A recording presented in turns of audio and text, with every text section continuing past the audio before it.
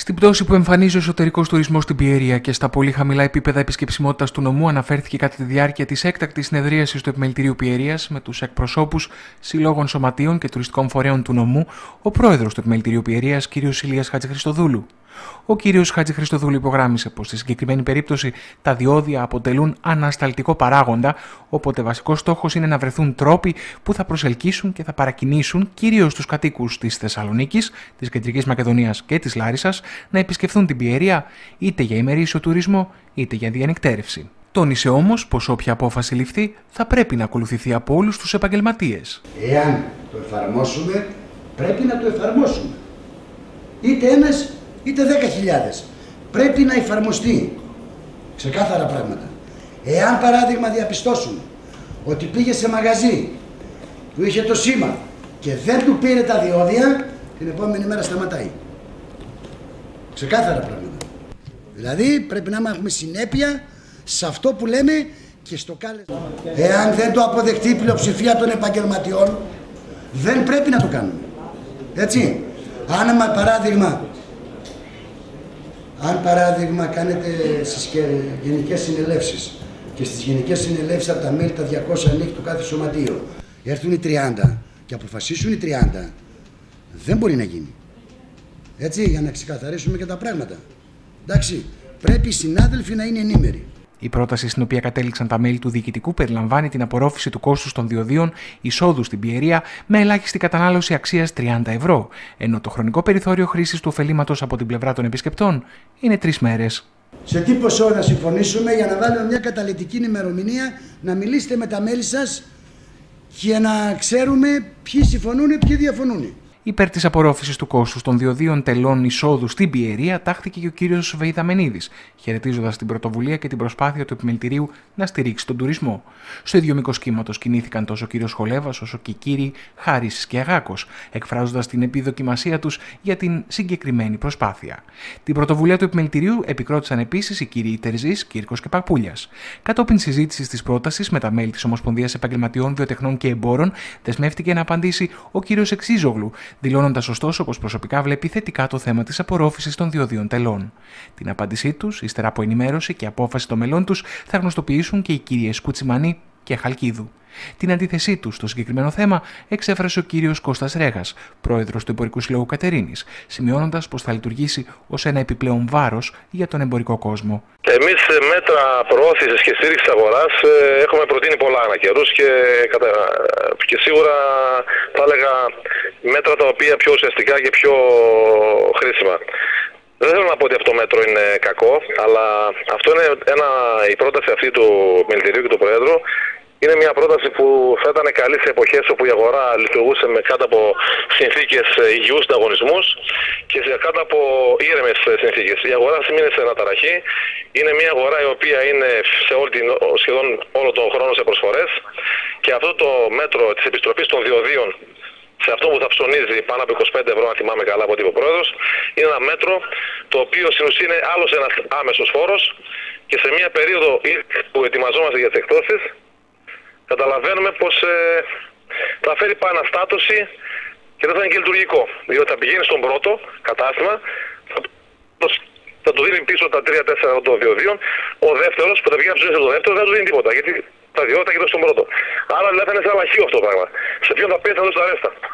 Νομίζουμε πως ε, χρειάζονται προτάσεις, αλλά ήταν λίγο και ασαφεί και θα ήταν πιο εμπεριστατωμένοι, πιο χρήσιμο να γίνει διάλογος πριν, να βρούμε έτσι τρόπους να στηρίξουμε και να τραβήξουμε επισκέπτε από τους γύρω νομού. Αλλά νομίζουμε έτσι λίγο όπω λειτουργήσε η πρόταση, την είδαμε λίγο πραγματικά λίγο. Ε, δεν ήταν πολύ ολοκληρωμένη και είχε πολλές ασάφειε και θα είναι δύσκολο στη λειτουργία της. Αντίθετος με την απορρόφηση των διοδίων, εμφανίστηκε και ο κύριος Λαλούμης, λέγοντας πως η Ένωση Ξενοδόχων έχει ήδη προχωρήσει σε μειώσεις των τιμών και αν μια τέτοια κίνηση υλοποιηθεί, τότε τα μέλη της θα πρέπει να προβούν σε περαιτέρω μειώσεις. Κατά της προσπάθειας, τάχθηκε και ο κύριος Ιρανίδης, επισημένοντα πως θα πληγούν οι εμπορευματικές μεταφορές. Φτάσατε σε σημείο που είναι αντίθετο στα διόδια με την αποδοχή του, του επιμελητηρίου να αποδεχτεί την κατάσταση, η οποία ήδη είναι παράνομη και εκκρεμούν δικαστήρια, θα αποδεχτείτε κάποιοι συνάδελφοι. Ε, κύριε, Συρα... κύριε Σιρανίδη, παρακαλώ πάρα πολύ, το επιμελητήριο δεν έχει αποδεχθεί τα διόδια. Προτρέπετε Το όμως αυτή τη επιμελητήριο, στιγμή, το επιμελητήριο, προτρέπω, η κύριε Σιρανίδη, πρωτοβουλία σας- κύριε η Σιρανίδη, πρωτοβουλία σας κύριε δεν Σιρανίδη, συνάδει- δεν αφήστε, συνάδει με κύριε το- Σιρανίδη θα μου επιτρέψετε να μιλήσω κι εγώ όμως. Έτσι δεν είναι; Διάλογο δεν κάνουμε. Λοιπόν, το επιμελητήριο δεν μπορείτε να λέτε αυθαίρετα ό,τι θέλετε. Το επιμελητήριο δεν έκανε τον αγώνα, ήταν από τους πρώτους που έκανε τον αγώνα και κάποιοι το πληρώσ, τον πληρώσαν τον αγώνα αυτό κατά των δύο δύο. Το επιμελητήριο κράτησε πολύ υπεύθυνη στάση και σοβαρή στάση από ό,τι προέ- που προέκυψε το πρόβλημα των διοδίων. Δεν μπορείτε να λέτε εσείς εδώ αυθαίρετα ότι το επιμελητήριο παρετείται από τον αγώνα των διοδίων. Μα προτρέπετε να αποδεχτούμε την κατάσταση. Άρα, Να σας πω. Πολύ φοβάμαι, Μισό πολύ λεπτό, κύριε, φοβάμαι πρέπει να κύριε τελειώσω λίγο. Σαρακίδη, Άρα ότι η ά- τόση ώρα εδώ η άποψη- δεν καταλάβατε τι συζητάμε. Δεν μπορώ να κάνω τίποτε άλλο. Ούτε να σας παρακολουθήσω, μπορώ ούτε να με παρακολουθήσω. Κατάλαβα. Λοιπόν, δεν μπορεί να λέτε, δεν μπορεί να λέτε πράγματα τα οποία δεν απεδέχτηκε κανένας. Και δεν μπορείτε να λέτε πράγματα γιατί όταν εσείς, αν ήσασταν τότε εσείς στις κινητοποιήσεις, κάποιοι πληρώνανε, κάποιοι ματώνανε από την τσέπη τους. Άρα λοιπόν, λαϊκισμούς, υπερβολές και θα πάρουμε στο λαιμό μας, αυτά ξεχάστε τα. Σας παρακαλώ. Ο κύριος Χατζη Χριστοδούλου αναφέρθηκε και στην απόφαση του Επιμελητηρίου Πιερίας για την εκτύπωση 50.000 τουριστικών φυλαδίων στην ελληνική και την αγγλική γλώσσα, τα οποία θα διανεμηθούν δωρεάν στα διόδια του Αιγινίου, της Λεπτοκαριάς και του Πυριετού, παράλληλα με την ίσπραξη του αντιτίμου των διοδίων. Το επιμελητήριο αποφάσισε να μοιράσει 50.000 έντυπα στα διόδια τα οποία είναι Μαλγάρων, Αιγινίου, Πυριετού και όπου άλλου μπορούμε, εν πάση περιπτώσει. Ώστε για να μπορέσουμε να διαφημίσουμε λίγο το νομό. Τέλος, κατά τη διάρκεια της συνεδρίασης, αποφασίστηκε η σύσταση επιτροπής, η οποία θα επεξεργαστεί το κείμενο που θα συμπεριληφθεί στο έντυπο και τις αφήσεις για το παρεμπόριο, το οποίο θα ενημερώσει σε πέντε γλώσσες τους τουρίστες, ώστε να αποφεύγουν τις αγορές αμφιβόλου ποιότητας προϊόντων από παράνομους πλανόδιους. Έχουμε ένα θέμα με το παρεμπόριο.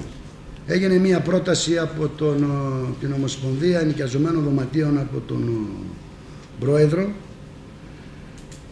που ζήτησε να γίνει ένα έντυπο δεν έχει σχέση αυτό με τα διόδια το έντυπο. Να γίνει ένα έντυπο το οποίο να μοιράζεται στους καταναλωτές αλλά και γενικά στους τουρίστες. Που να ενημερώνει τον τουρίστα ότι το, το πλανόδιο εμπόριο είναι παράνομο και, δε, και στερείται ε, νομίζω είναι στη διαδικασία το φτιάχνεις λίγο Στέφανε για την νομιμότητα στερείται απ- απόδειξη νόμιμης απόδειξης και να μην πηγαίνουν και ψωνίζουν από τους πλανόδιους. Το κείμενο λοιπόν αυτό ε, θα παρακαλέσω επειδή θα είναι έτοιμο κατά την Τετάρτη να ένας ο Γρηγόρης, ένας ακόμα για να εγκρίνουμε το κείμενο ώστε να προχωρήσουμε στην εκτύπωση. Θα να σας διαβεβαιώσω ότι μετά τη σύσκεψη που είχαμε εδώ για το παρεμπόριο ήδη έχουν βγει τα κλιμάκια έξω. Ήδη είχα επικοινωνία με το Υπουργείο και ο Στέφανος ο Κομνηνός ο οποίος έκανε μεγάλες προσπάθειες για το συγκεκριμένο θέμα και τον ευχαριστώ μάλιστα μου είπε ότι αν θέλεις να σου στείλω και δύο άτομα από Αθήνα. Πιστεύω, πιστεύω όμως ότι έχουμε ικανούς αξιωματικούς εδώ πέρα και νομίζω ότι μπορούν να τα καταφέρουν